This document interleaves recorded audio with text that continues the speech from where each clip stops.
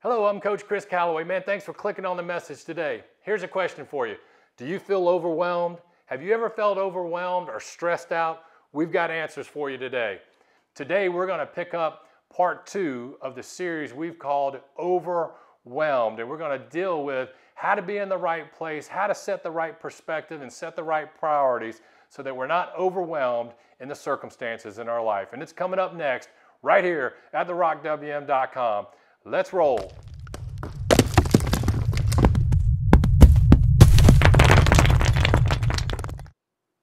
All right, I want you to know you don't have to question if God cares about you.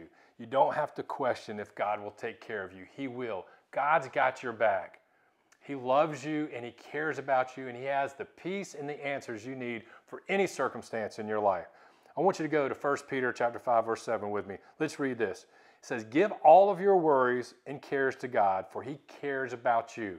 And we don't have to worry about if God cares about us. I'm here to tell you today and encourage you God cares about you. He loves you. He says, Give all of your worries and your cares to Him, for He cares about you. John chapter 14, verse 27 says, I'm leaving you with a gift, peace of mind and heart.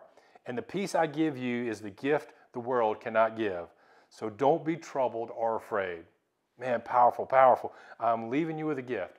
Jesus told us that He left us with a gift of the Holy Spirit. That's peace of mind and heart.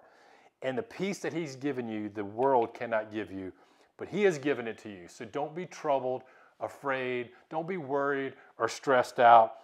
If all you have to focus on in this world is Jesus, then you're in a good place. Focus on Him, focus on God. Let God rule and be peace in your life. But see, when you don't focus on God, that's when the worry and stress comes up. So when we get our eyes and turn our attention away from God and away from His Word and away from His love and His peace, His instruction in our life, and we get our eyes focused on the craziness of the world and the busyness of our lives, they can be overwhelming. But put our focus back where it's supposed to be. Seek God's kingdom first and all that we do above all else, and know that He loves us and that He's left us with the Holy Spirit, and it's a gift of peace in our life. Man, what a wonderful set of scriptures that can really bring some stability in our mind and our hearts and know that God cares and loves for us. Most importantly, we need to learn how to lean on God when we're feeling overwhelmed and stressed out. We have to trust God. We have to build our faith up and allow God's peace to guide us through the challenges and circumstances and guide us through our busy, crazy busy lives that we have to all deal with. Allow God to take the worry and allow God to take the stress and the burdens away from you. Philippians 4 6 says, Don't worry about anything, instead, pray about everything. Man, powerful scripture, right? I want to encourage you to do that. Don't worry about anything. Instead of worrying, pray about everything. Seek God Get in the presence of God. Tell God what you need, and it says, and thank Him for what He has done. When we're overwhelmed, we have to calm our spirits. We have to calm our mind, calm our souls. We have to give our worry and our stress and our anxieties and our cares to God. And when we do that, when we get in the presence of God and give it to Him, He cares for us and He has our back. He has the answers that you need. He can relieve you of the anxiety, the stress, and the worry.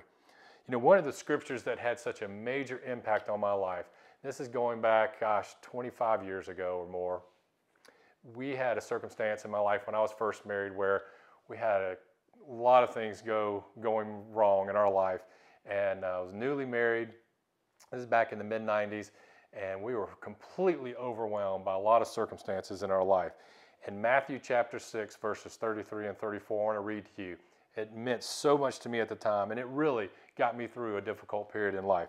In Matthew 6, 33, it says, Seek the kingdom of God above all else. Seek the kingdom of God above all else and live righteously, and He will give you everything you need. And I just jumped and latched onto that word, and uh, God came through for me in a big way during my life and still does to this day. But it says, Seek the kingdom of God above all else. First and foremost, above everything else, get yourself in a position to make sure that you're engaging and participating in seeking God. and live righteously. We have to live right, amen. And He will give you everything you need. I'm here to tell you, whatever it is you need, God will give it to you. And verse 34 says, So don't worry about tomorrow. And don't worry about tomorrow. Don't be stressed out. Don't worry about tomorrow, for tomorrow will bring its own worries. Today has enough trouble for itself. So don't be stressing about the next day. Let's deal with today. And we do that by seeking the kingdom of God and getting into his presence. Let's go to John chapter 14 and verse 16 and take a look at that scripture. In John 14, 15, it says, If you love me and obey my commandments, and I will ask the Father, and he will give you another advocate who will never leave you. He is the Holy Spirit. See, God has given you the Holy Spirit. He's given you the Holy Spirit. He will never leave you. He is with you. He is there for you, and He's got your back. No matter what your circumstances are, know that you can cast your cares on God, and He is there for you. You know, when it says cast your cares on God, He is talking about literally throwing your cares off of yourself. That's a physical action, right? We need to physically just and mentally just take our cares, our anxiety, and our worry and throw it off of our shoulders, throw it out of our heart, throw it out of our mind, hand it over to God. Go to God in prayer and say, God, I seek you, Holy Spirit. I know that you're with me. I know that you love me. You've asked me to bring my cares and my worries to you, and I'm just going to give them to you now, and I'm going to cast them on you. But then choose to participate.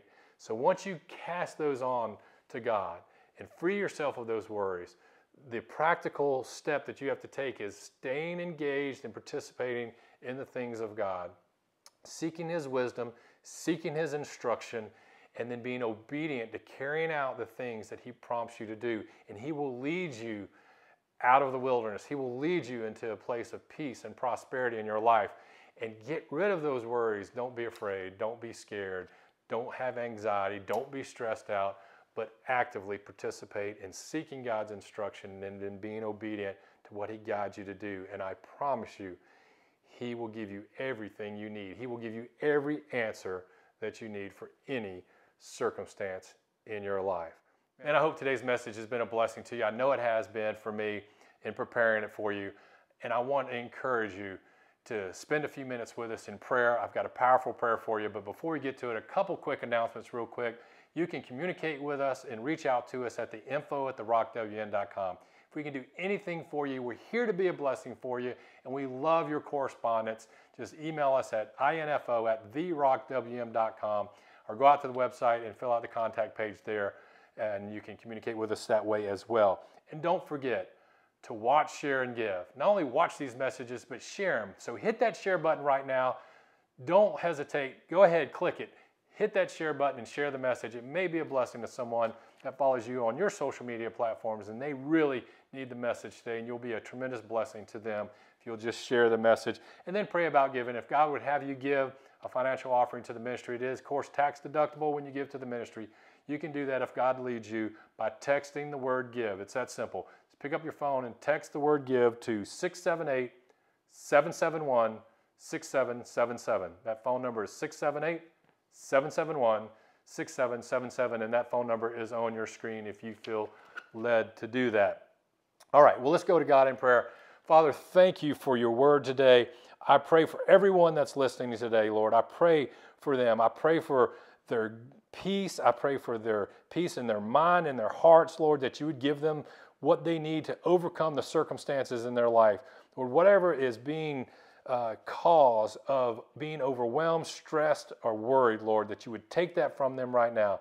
Encourage them to give you all of their cares and worries and stress, Lord, and you would take that from them and infuse them with your love and your peace, your guidance and your instruction, Lord, and lead them into a place of peace and prosperity.